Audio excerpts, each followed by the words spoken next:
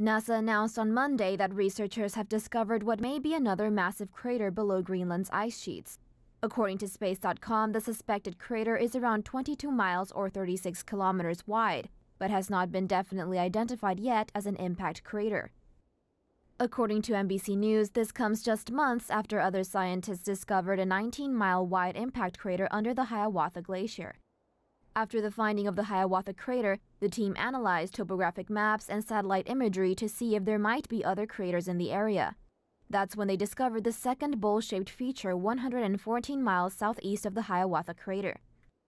In order for researchers to determine if this second structure is actually an impact crater, Scientists will need to conduct more fieldwork or obtain core samples to confirm the discovery.